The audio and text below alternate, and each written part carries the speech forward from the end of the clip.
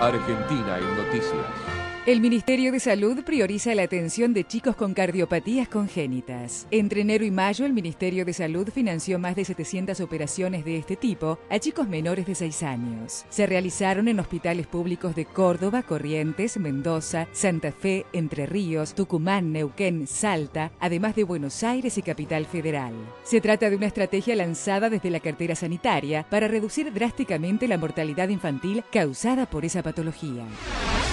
La presidenta se encuentra en el Perú donde participó de la asunción de Ollanta Humala. Cristina Fernández junto a otros mandatarios participaron de la ceremonia celebrada en la sede del Congreso peruano. Humala asumió hoy como presidente del Perú y en el traspaso del mando juró por la Constitución de 1979 y no por la vigente de 1993. El mandatario peruano tomó posesión del cargo sin la presencia del presidente saliente Alan García, quien entregó la banda presidencial al jefe de la Casa Militar. Tras asistir a la asunción y participar de un almuerzo de honor, la jefa de Estado argentino estará presente en la cumbre de países de la UNASUR que se realiza en ese país. Luego partirá rumbo a la ciudad de Brasilia, donde tendrá un encuentro con su par Dilma Rousseff.